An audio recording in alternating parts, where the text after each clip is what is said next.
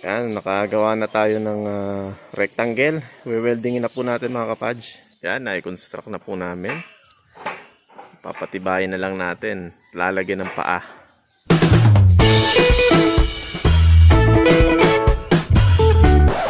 Ah, mga kapadge, for today's video gagawa po kami ng ah, bed frame gamit yung ah, 1.5 by 2 by 2 na tubular. So, let's do this.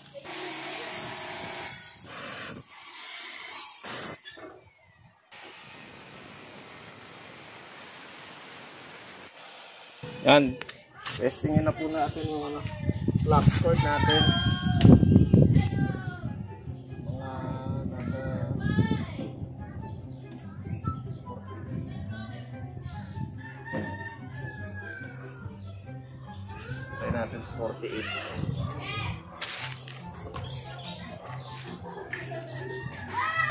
Kaya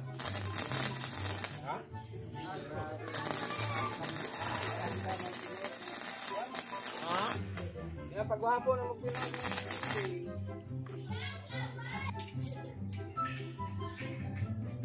eh, para para lang ah, maximum. Yung parang alam pre lang ah yun ang bala niya parang na karol yun nandun sa loob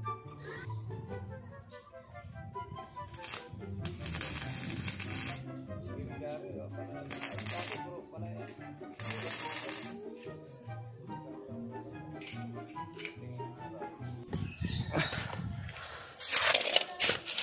So yan, babalik natin from 45 degrees mga kapadge.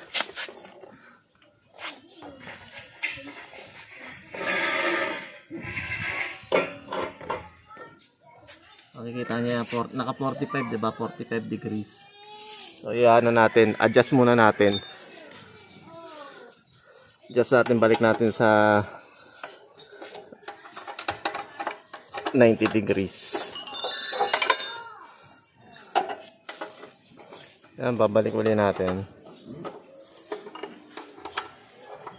Sa mga nauna kong demo dito sa ating Bosch cut-off machine, hindi ko nagamit yung 45 degrees. So, ito, para makita nyo rin kung paano siya ina-adjust. Yan. So, balik lang muna natin tong pinaka-key sa lalagyan.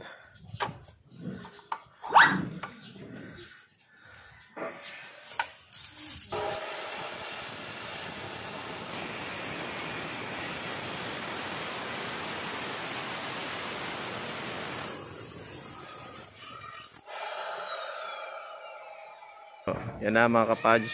Yan na natapos natin. Yan, na-construct na po namin. Papatibayin na lang natin. Lalagyan ng paa. Yan.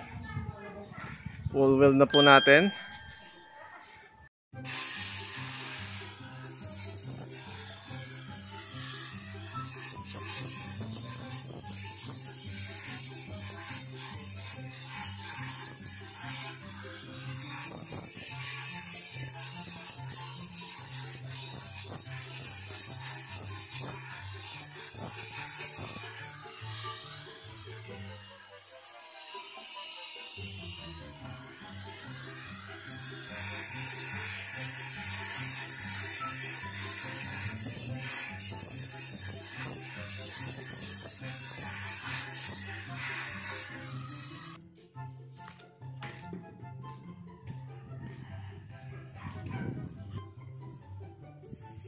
Cut ka na dito tayo 10 inches.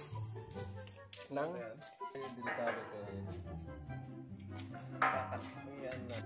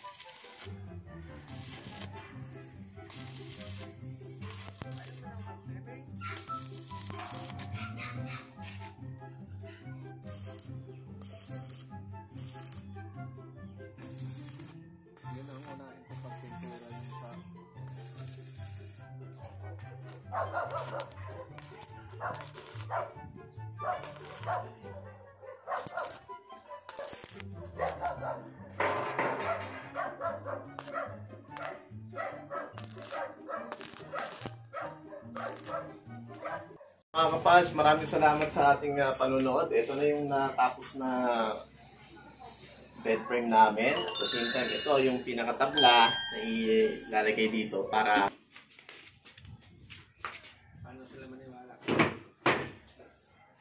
yan mga kapals, ito na yung finished product ng itong ginawa natin na bed frame.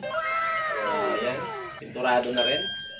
Lalagyan na rin namin ng uh, plywood na 3-4 para ma- maging support niya dun sa pinaka-foam. So maraming maraming salamat po sa lahat naman nakapag-subscribe na sa atin at sa mga hindi pa nakakapag-subscribe. Please subscribe na po at pakitik ang notification bell para lagi kayong updated sa lahat ng mga darating pang videos. Maraming salamat po.